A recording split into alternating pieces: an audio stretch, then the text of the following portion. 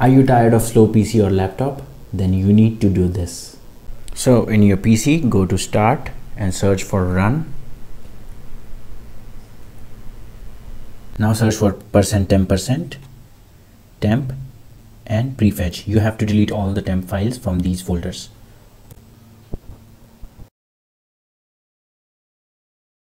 Now the second step, go to start and search for background apps.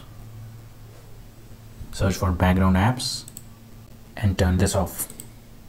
You can select individual apps that you want to turn on. Now the third step, go to task manager.